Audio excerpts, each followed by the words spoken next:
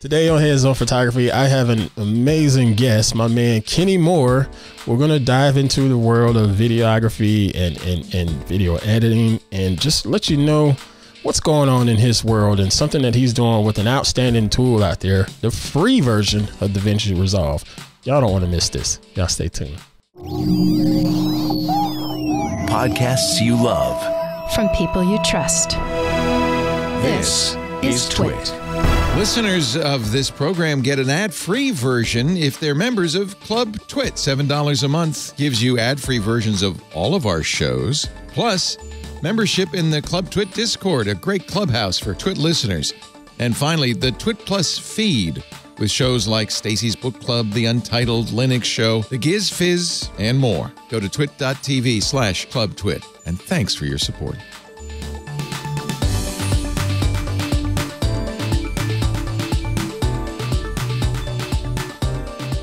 Hey, what's happening, everybody? I'm Ant Pruitt. This is Hands On Photography here on Twit. Hope y'all doing well. I'm unbelievable as always on this fine show. I like to sit down and share different tips and tricks that are going to help make you a better photographer as well as a better post processor. And uh, every now and then, heck, we'll even help you out with some of your video capture stuff too. Hmm, imagine that. Huh, speaking of video capture and video editing, this week I'm sitting down with a guest because you know I like sitting down with some professionals out here in this in this space that uh, can drop some knowledge on y'all and share some little quick tips and tricks to help y'all get better. And that's what we got today. I'm sitting down with my man, Mr. Kenny Moore from Godsend Mixed Media, doing a lot of amazing stuff in the world of videography as well as uh, video post processing. So without any further ado, let me shut my yap and just bring my man Kenny on. So how you doing, my man? Good to see you. I'm good. How about you? Unbelievable as always, brother. I appreciate you joining me. As we mentioned here in our green room, if you will, before the show started, I, mm-hmm. I I told you YouTube does a good job with with recommendations and recommending stuff to me that I enjoy to watch. And I stumbled yep. across your YouTube channel, I don't know, sometime last year or what have you. And mm-hmm. I was like, okay, first off, this cat's it's his uh, accent. He's he's this is my people because I, I, know he's a southerner. I said, yep, I'm gonna watch this. And as I started mm-hmm. watching your channel, I was like, man, he he is really dadgum good at this stuff. He's doing a good job with um presenting the topic at hand and he's allowing it to be presented in where it's like bite size and not something that's going to mm-hmm. go all over people's heads. And it's all about getting into the world of video. So tell everybody a little bit about where you're from and and you know you're doing video production and video um, capture and so forth. Tell us how you got started and all of that.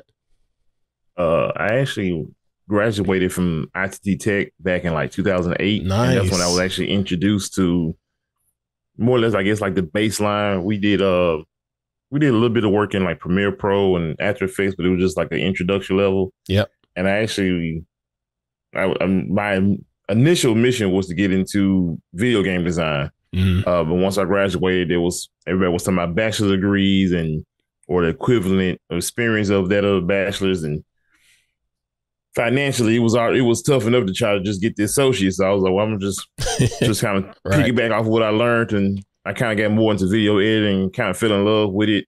I bounced around from Premiere to uh, I used uh, Cyberlink's Power Director for a little while. Yeah, I remember Cyberlink. yeah, I used it for a little while because it was you know, it was real real base level, like a lot of drag and drop, and uh, I ain't like right now I'm actually a truck driver, so I mean I I kind of got away from it. And then back in like 2019, right before like the the bottom drop with the with the virus and everything. Yeah. I started kind of getting into YouTube, just doing like little gaming montages as a little hobby. And um, that's when I actually found DaVinci Resolve. And before then, I never even heard of DaVinci. I didn't. Oh, really? about it. They didn't yeah, even I'd bring it up at ITT. No, I literally never. Because I, when I when I found it, I found that it had been used for color grade in Hollywood for years. Yeah, but I've never heard of it as far as the video editing side. And uh, I didn't want to pay the the subscription for Premiere Pro just for a hobby. Yeah. So I was like, well, let me see if I have any other alternatives. I just typed in Premiere Pro alternatives. They brought up DaVinci and they brought up that magic word free next to it. Yep. Like, well, that'll work. I mean, for a hobby, I do that with them. I think I had it for like, I had maybe it's like three or four months. A lot of what I knew from Premiere, I was able to easily transfer over. Yeah. As far as like the wording and uh, terminology and stuff. Yeah. And then I tried to do like a little video with my son, and I wanted to use the uh, the object removal tool, which is only in Studio. And I was like, Mhm. well, can't have it. Gotta get Studio. it was I saw it was a one time fee. My wife actually got it for me for my birthday, so I was like, that'll oh, work. nice, And nice. so I was just using it. I, I really had no attention on trying to broaden into like a business at the time. I just bought it because I wanted, I guess my OCD kicked in. I just wanted all the features.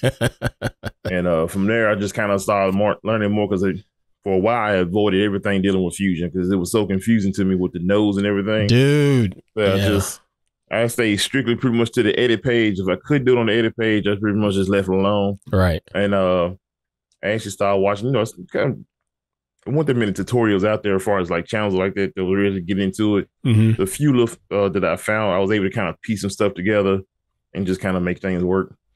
You said, and see, people now, folks. He, he mentioned Fusion. If you're not familiar, Fusion is inside of DaVinci Resolve, and it's its con- compositing tool. Uh, think of Mhm. it as a free-ish version of After Effects. Uh, with Yeah. After Effects on the on the Adobe side, you're able to do compositing and green screening and doing some, you know, a Mhm. lot of different layers and, and uh, special effects. It's a lot of a lot of cool tools in After Effects as well as inside of Fusion, but as someone that spent a long time in After Effects, going to Mhm. Fusion was a mess for me, man. Yeah. that the, the node structure, I I'm totally fine Yeah, with the node structure on the color tab, but dude, Yeah. in After Effects versus going into nodes in Fusion, it it's it's a a whole different way of thinking, and I'm still not quite there, but I'm getting there. And you Mm. on your channel, you do a lot of stuff on Fusion. Um, and again, I Fusion is available to for free too, right?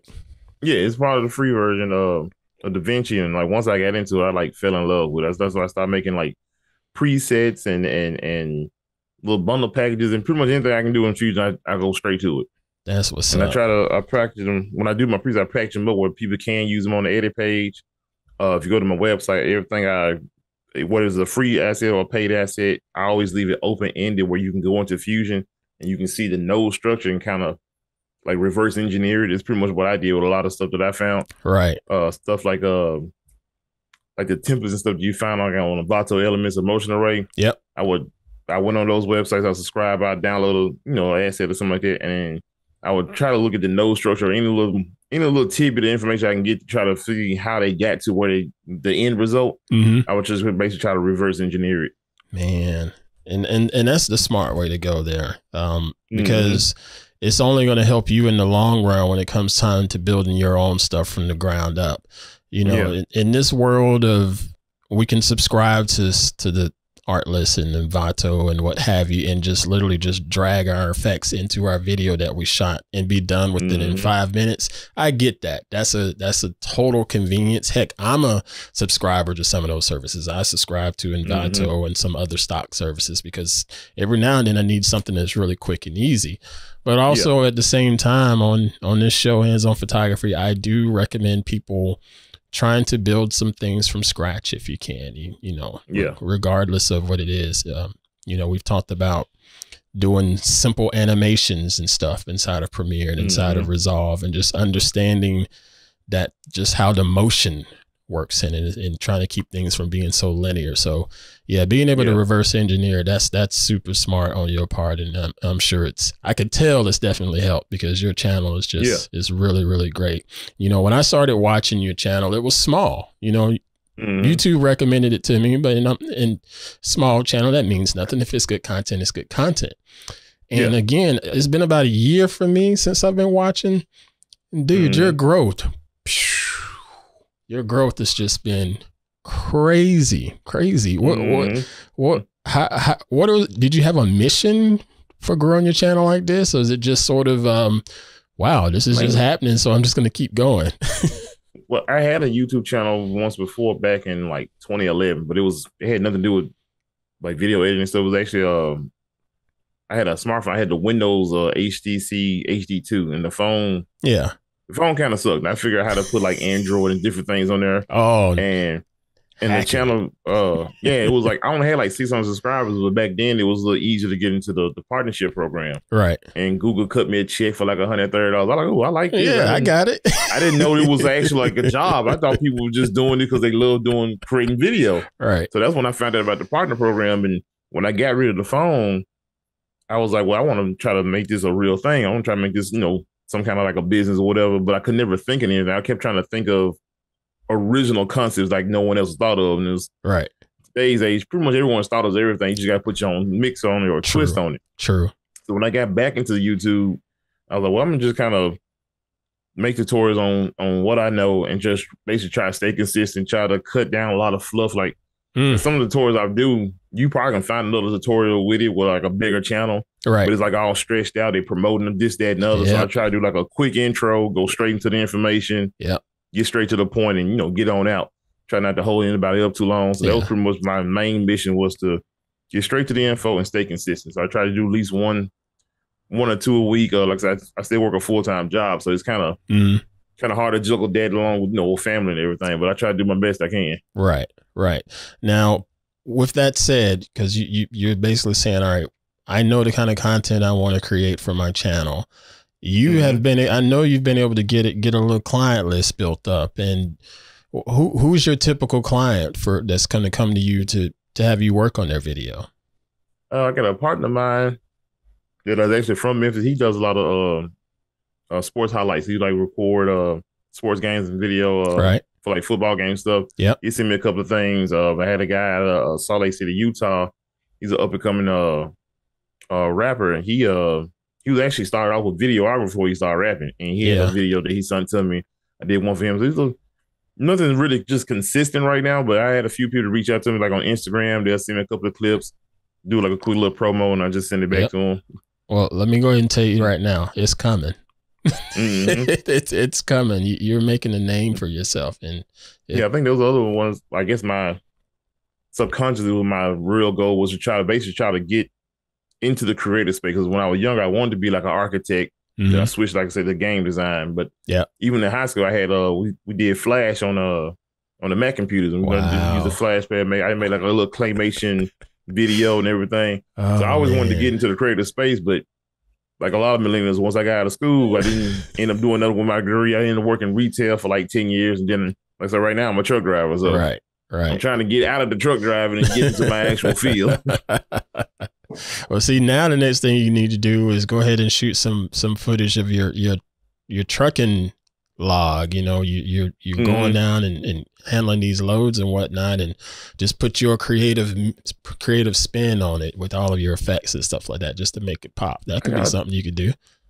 Yeah, I thought about that, but um, one thing is I do a dedicated route, so I'm always I go to the same locations every Yeah. night. Yeah, I got like a little sit ride, I drive overnight. It's like six hours. I come on back home, so yeah, that's why I never really did anything with because I'm not seeing a lot of like you know like a new sites and stuff like that. If I was like an over the road driver and Yeah. like yeah. And I, I drive a, a box truck, so I'm not even in the semi truck. I'm in the box truck. the I box. drop off some stuff. Yeah, Yeah, I drop off a John Deere and then I come on back. that's still all right. Still sound like a nice Mhm. gig to me.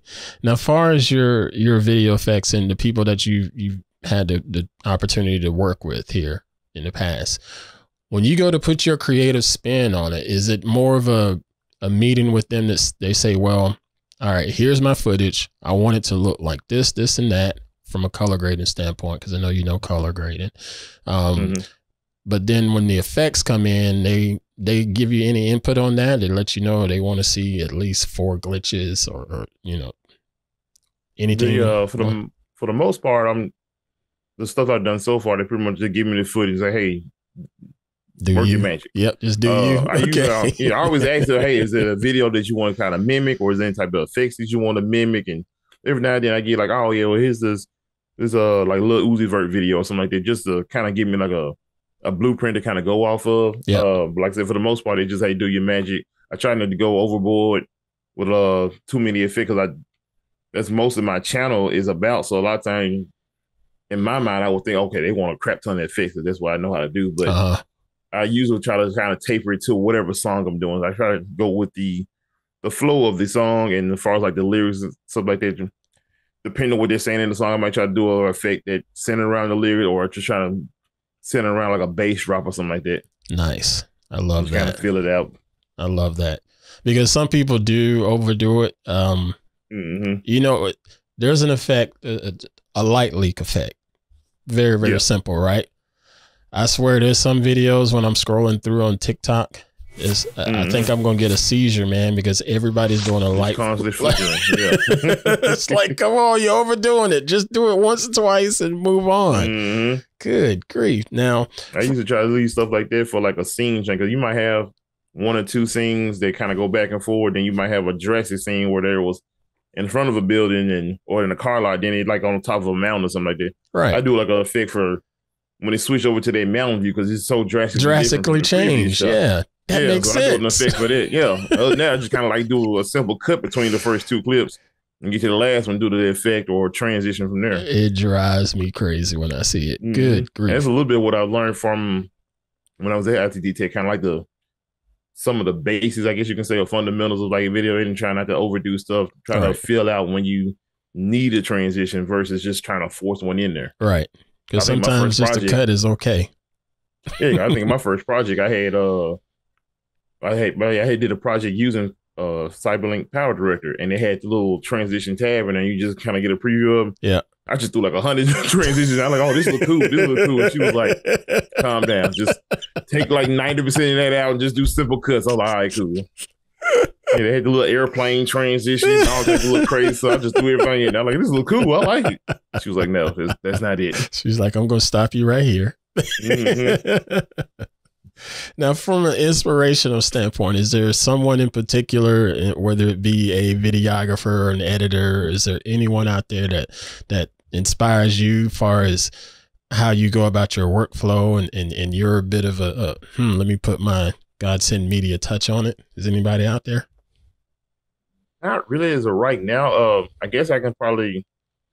I know a lot of time I look at uh, it's a Premiere Pro channel, but uh, I think it's Brian uh Del Delbot. I can't remember his, how to pronounce his last I name. know who you're talking about. Yep. Yeah, he got like a hundred thousand subscribers on on YouTube. He has his own like you know his store with the uh he does the he made the as far as I know he made the paper transition really popular. Yeah. And uh so I usually watch I watch a lot of his videos and uh I actually just translate a lot of his stuff from Premiere to DaVinci because uh once you train once you begin to kind of switch over those two, the terminology kind of changes. I know like on for a prime example, in Premiere they have the uh the, I think it's the pin is the puppet tool. Yeah, You can use it to kind of uh Yep. move, you know, To move things that. around. hmm Yeah, so I had Google a little bit after I first got DaVinci. I was like, I Google, I got, was there a puppet tool in DaVinci? And the only thing they brought up was the grid tool. So it was like, it was literally almost the same thing, but they had different names for them. So that's what, uh, it's actually one of my tips I tell a lot of people because a lot of people I talk to, they usually come from Premiere. Yep. like, hey, stuff that you're used to in Premiere, the terminology, look those up, Google them, and sometimes you will find the equivalent to it in DaVinci. The only thing you had to do from that point is figure out how to use it as a, because use it as a node Yep. just figure out how to a- attach the nodes and make it flow right. Yeah, that's been my challenge with um on the DaVinci side is is figuring out merge nodes and things like that. Because sometimes you don't need a Mhm. merge node, sometimes you do, and um, background nodes and all of that stuff. It, it's but again, that's part of the process of learning this thing. Mm-hmm. And that that YouTuber is Brian uh Brian Delmata. Brian Delmata. yeah, that's him. Yeah, He's uh yeah, I've I've, I've watched his channel several times. So he's he's Mhm. quite talented, quite talented. yeah. Now, before we get out of here, I want to allow you to tell folks where we can find some of the things that you're doing and working on, and if there's a website you'd like to promote.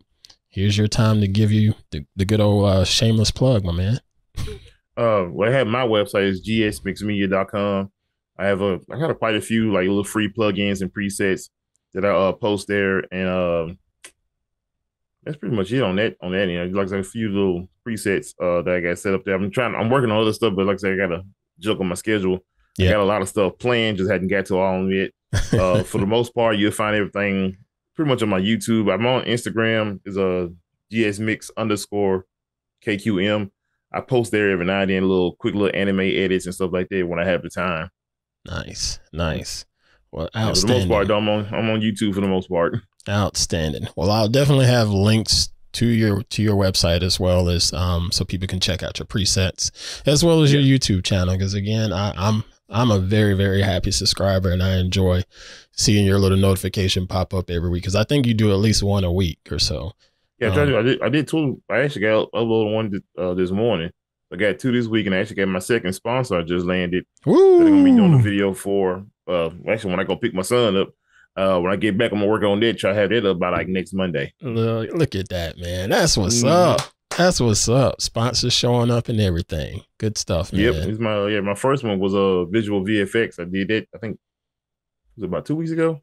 They reached out to me uh, via email and was like, "Hey, check this out." I'm like, "Oh yeah, I, I, I like it." So yeah, we, we gonna work. That's awesome. That's awesome. Mm-hmm. Well, Kenny, my man, thank you again for your time. I, I'm wishing you nothing but continued success, and um, I'm actually looking forward to following the success because you, you're on your way, my man. I'm I'm I'm I'm rooting for you, brother.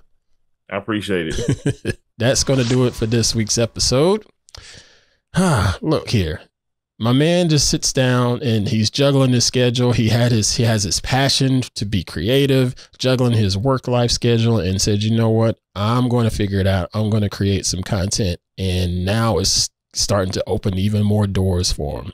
I love his channel. I love what he's doing. And I really, really hope y'all got some fire out of this here. So you're going to go out there and continue to create some great content for yourself and uh, create some content for some other folks and potentially grow your creative passion, just like he did.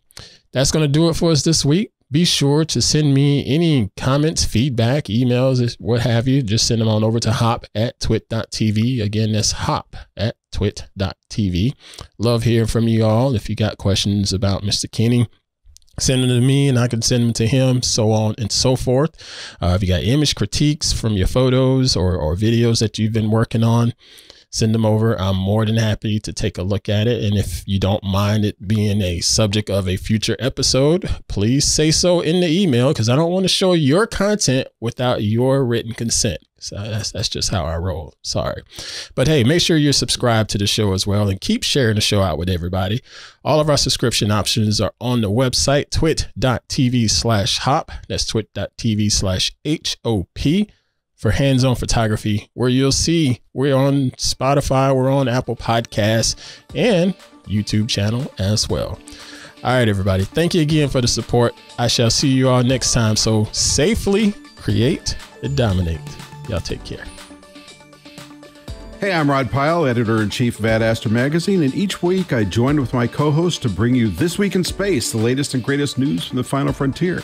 We talk to NASA chiefs, space scientists, engineers, educators, and artists, and sometimes we just shoot the breeze over what's hot and what's not in space books and TV. And we do it all for you, our fellow true believers. So whether you're an armchair adventurer or waiting for your turn to grab a slot in Elon's Mars rocket, join us on This Week in Space and be part of the greatest adventure of all time.